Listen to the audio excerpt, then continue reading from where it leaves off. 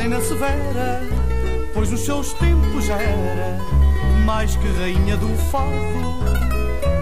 E entendo dever lembrar outros mais, esses nomes imortais dos fadistas do passado.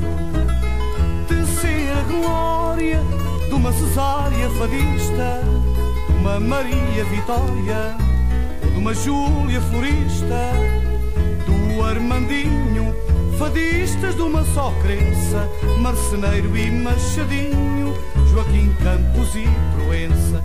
Dos poucos nomes que disse, não posso mesmo que queira esquecer a Maria Alice, Maria Emília Ferreira. Depois, nesta hora incerta, lembrar a Ercília Costa, na Amália Hermínia e Berta, das quais tanto o povo gosta. E agora, quando os mais novos acordam, são os velhos que recordam como em tempos era o fado. E os de hoje, de vida alegre e louça, hão de chorar amanhã com saudades do passado.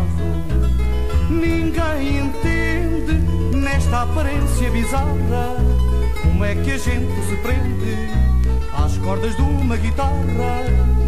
Ninguém maldiga o fado que nos encanta, que a vida é uma cantiga que nem toda a gente canta.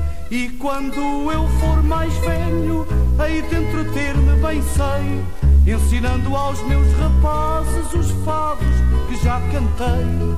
Talvez que vocês apontem as nossas noites de agrado, que lhes digam, que lhes contem, que eu também cantava o fado.